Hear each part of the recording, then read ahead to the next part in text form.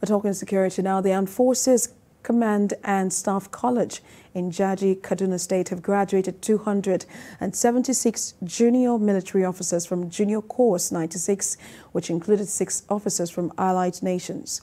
The students of Junior Course 96 underwent a revamped curriculum that addressed the evolving challenges the nation confronts.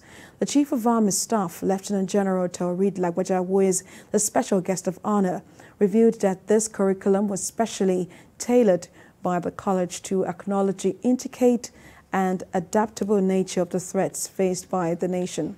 Lieutenant General, Lieutenant General Taoreed Lagbaja expressed confidence that these officers have having undergone this training will demonstrate enhanced effectiveness when deployed in operational fields.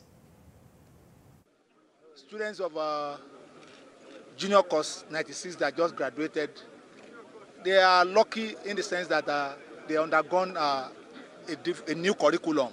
And the curriculum was designed by the college to take cognizance of uh, the complex and adaptive nature of the, the threats that we face and the fact that the, the operating environment itself is volatile, is, is ambiguous and uh, is complex.